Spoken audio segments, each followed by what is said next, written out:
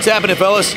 Feast your eyes on what I believe to be the last, essentially brand new Honda CR250 1975.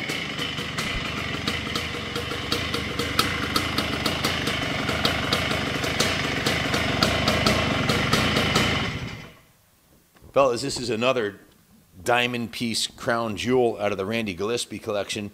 Uh, he had several brand new motorcycles, including the Montesa 125 over there that's listed on eBay, and the RM250 that went up last night and sold instantly for $10,000. Suzuki 76 RM250 sold for 10,000. This is a 75 CR250, essentially the same shape as the Suzuki. It's a June production date, so 76 model year. Also, it's the same year. So he had the 76 Suzuki, uh, Elsinore and the Suzuki, same year, same exact year as the Suzuki that just sold for 10. I would say the Honda is, is uh, has a higher value than the Suzuki, but uh, beauty's in the eye of the beholder. Uh, I just like the red. They're beautiful bikes. Um, this is a fantastic machine. Ultra rare. If you know anything about these Elsinores, you know the first thing that would happen is this baffle would be taken off and thrown out. So to find one that's got one in brand new condition, just like that Suzuki RM250, if you price one of the Suzuki Stingers, they're fifteen hundred dollars. The last one I saw for sale on eBay, they're just priceless. You can't you can't get them.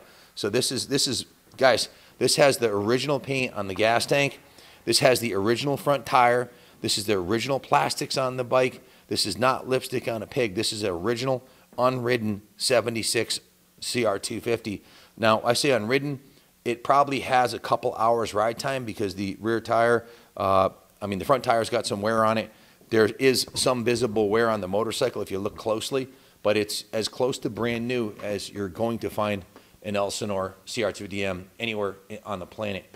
The original exhaust pipe on this thing um, is completely dent and ding free. There's not a single dent or ding on it. The fork tubes chrome looks brand new. The fork lowers is like brand new. The DID rim still has the factory sticker on it. And guys, this is the original 40, is it 47 years old now? Uh, 75 years, that's, uh, yeah, 47 years old front tire. And it's in remarkably good condition. There's no armor all on it. It looks a little, um, the, the black on it, it would dress up nicely with some armor all, but I tell, I don't like the guys putting armor all on the tires when we ride them.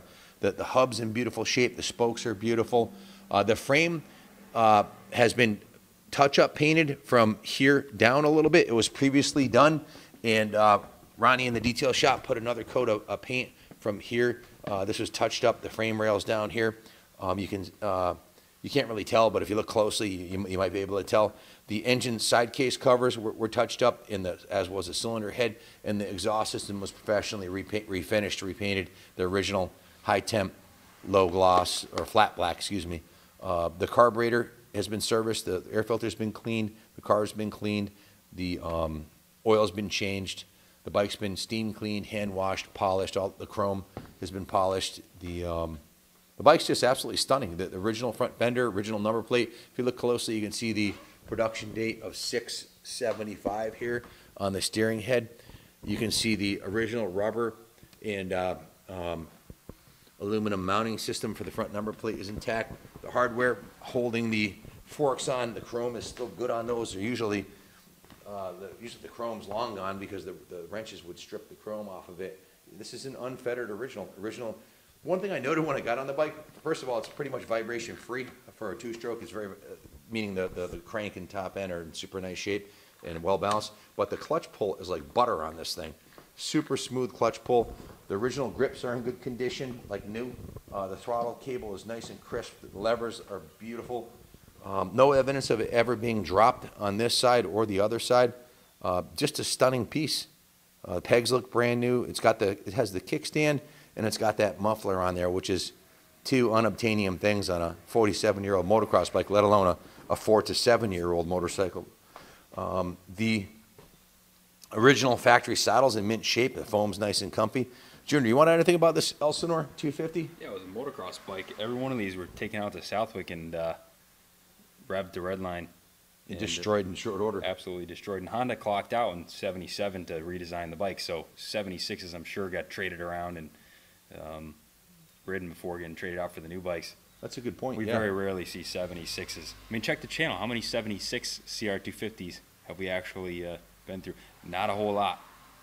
Uh, So, Just a handful, and, and this is the first one that looked like it just came out of the crate.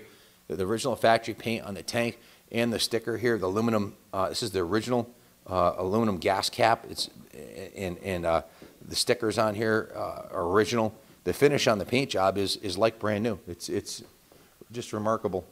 Um, one small blemish right here on the tank. As you can note, a little patina here, right here on the, uh, uh, rub through on the uh, thing from where the, the throttle cable sat for 47 years. Um, The frame rails are in mint condition, there's no dings, uh, the rims are perfectly straight, the shocks, everything's, it looks like a brand-new bike. I don't know what else to say, I'm just drop the mic now and walk away, but if you have any questions about it, give us a call, 860-454-7024. Randy, hats off for another beautiful machine. Randy's 65 years old, closed his shop, selling his shop, um, sold us his collection of motorcycles, and uh, he said this was his 401k. He bought these bikes and and kept them. Oh, I almost forgot to add, his storage facility for these bikes had he built purposely for storing classic cars and motorcycles. And he's got some very expensive cars in there, old Hemis and that kind of stuff.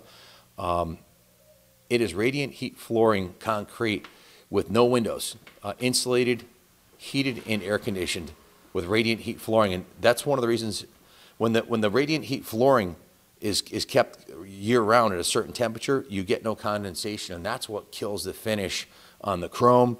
That's what kills the finish on the aluminum. That's what pits everything and ruins it. That's why his bikes were essentially in a um, in a time capsule. This is a time capsule from 1976. If you're looking for the finest 76 Elsinore for sale in the United States of America today to add to your collection, there are none finer that I know of that are for sale. So buy this one and um, you've got a money in the bank investment. If you have any questions, give us a call, 860-454-7024. We can ship anywhere in the country. This is one we'd love to leave in the museum. If you want to buy it and leave it here, just let Junior know. We'll put a contract together, put it in the museum display file, and it can stay here uh, till you're, you're ready to cash in on your 401k. So thanks for watching, and God bless America.